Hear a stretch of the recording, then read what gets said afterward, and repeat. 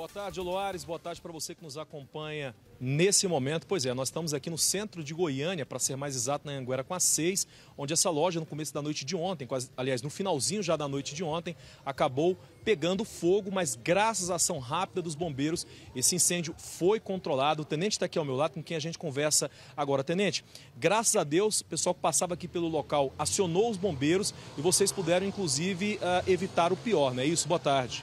Olá, boa tarde, boa tarde a todos. Sim, o, a gente foi acionado a partir das 11, 11 e meia da noite de ontem. O pessoal que passava pela rua viu que estava saindo muita fumaça pelas portas da loja. A gente fez a, a vindo o mais rápido possível e chegou aqui e constatamos que sim, a gente estava no incêndio na fase inicial. Agora, Tenente, a gente observa aqui, eu vou até pedir para o Lacerda mostrar aí, o Lacerda vai mostrando, que uh, o dano maior foi realmente da mercadoria, né, do estoque, que esse incêndio começou na parte de cima aqui da loja.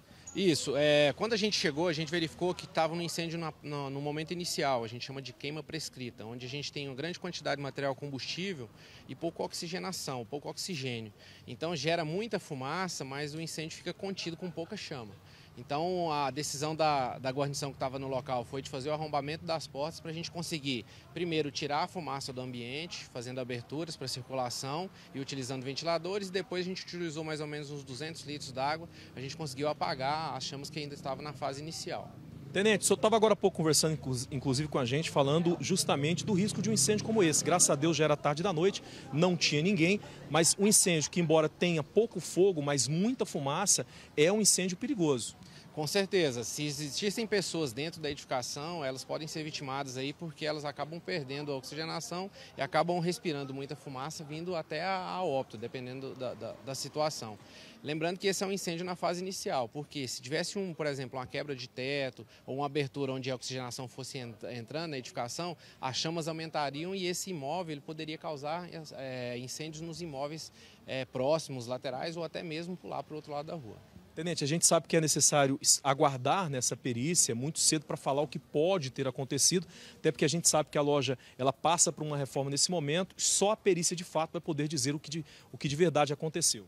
Isso, é uma das hipóteses que a gente pode elencar como, como uma das precursoras aí que causam geralmente incêndios em estabelecimentos comerciais é a questão elétrica.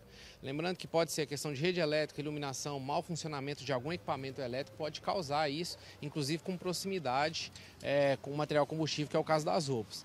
Mas, para é, afirmar com certeza o que causou o incêndio, somente a perícia pode fazer isso. Okay, vou agradecer ao tenente, ele continua aqui, o Loares, que a gente vai mostrar aqui, olha, como o Lacerda está mostrando, a loja, ela passa por uma reforma há mais ou menos uma semana, o tenente deixou bem claro, né, que por enquanto é muito cedo para dizer o que pode ter de fato acontecido, até porque só a perícia vai poder de fato dizer o que aconteceu. Eu conversei com o pessoal da loja agora há pouco, o Luares, toda essa mercadoria acabou sendo perdida porque o incêndio foi na parte de cima do estoque.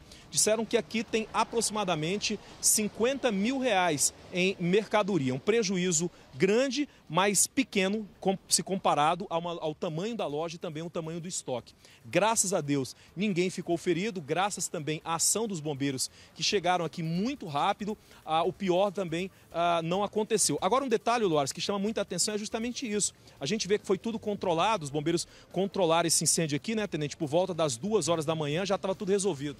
Isso, o início da ocorrência foi por volta de 11, 11 e meia, até entre 3 horas, quase 3 horas, duas e pouco, 3 horas, a gente finalizou a ocorrência e deixou o estabelecimento na responsabilidade do pessoal da Polícia Militar que estava no local aqui para fazer o contato com os proprietários. Ô Loares, o espaço já foi liberado, o pessoal que está fazendo a reforma continua trabalhando, eles continuam a reforma, como a gente percebe aí.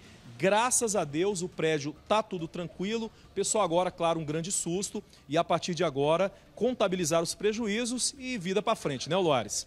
É, a gente e muitas lojas, uma ao lado da outra, né, poderia ter espalhado esse fogo e gerar um problema sério. Obrigado, Fred Silveira, muito obrigado ao pessoal do Corpo de Bombeiros também, trazendo essa informação dessa loja de roupas aí na Rua 6 é, que ficou destruída. Obrigado, Fred.